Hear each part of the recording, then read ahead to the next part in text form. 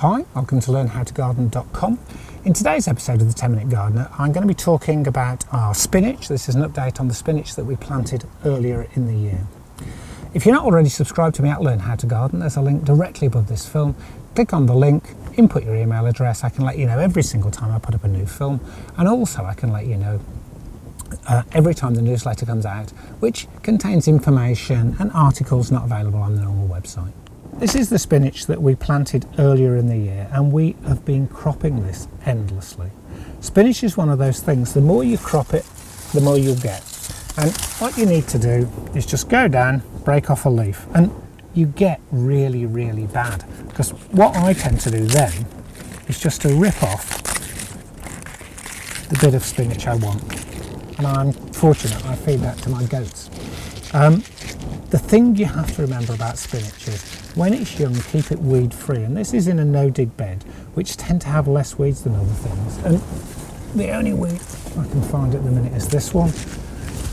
And keep it well watered. It is one of the ones that is notoriously um, variable. No, no, it's not notoriously variable. It's notorious for bolting. It's notorious for going for, to seed if it gets too dry.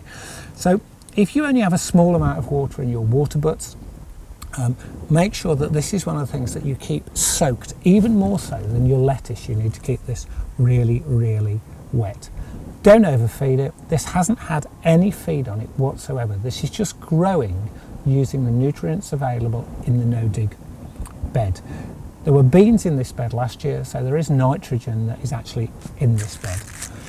I use the spinach raw, I wilt it, uh, and just mix it with some garlic and butter, which is really nice.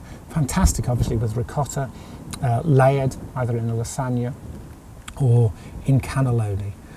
This probably will keep us going now until it bolts. I'll be making another sowing of this um, in the second week of August, which should keep me going right into the autumn, which is when the parsnips, which are looking a bit worse for wear because we've had three weeks of bone dry weather, uh, when the parsnips should be ready.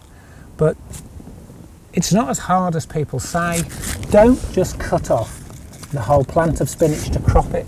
Crop it like you would crop kale or lettuce, a leaf at a time, and you can keep it going throughout the season.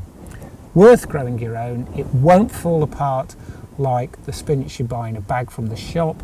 You'll have much more taste, much more texture, grown, not flown. Don't fly it from the other side of the world, grow it yourself. Remember that each time you go shopping, grown, not flown.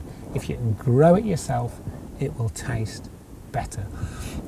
This is perpetual spinach. I think it's the better one to grow for most people. Thanks a lot for watching Learn How to Garden.